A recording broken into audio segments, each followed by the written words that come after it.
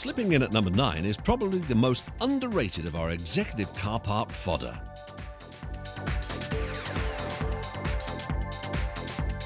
The Omega has quietly notched up an impressive sales record by offering a more mainstream offering, while rivals from the likes of Ford have fallen by the wayside.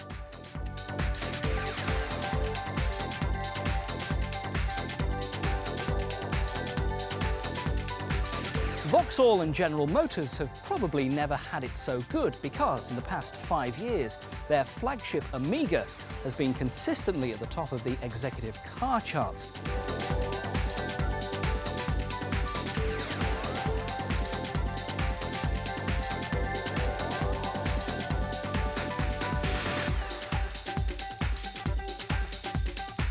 The 3-litre V6 in the top spec model is a peach, and the ride and handling compromise is a pleasant surprise, beating some more exalted offerings along the way.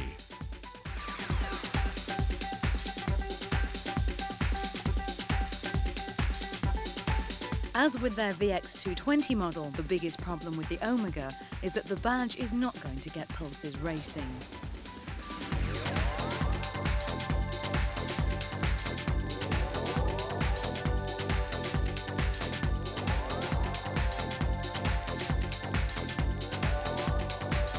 It does have a boot big enough to carry several golf bags and plenty of room in the cabin too.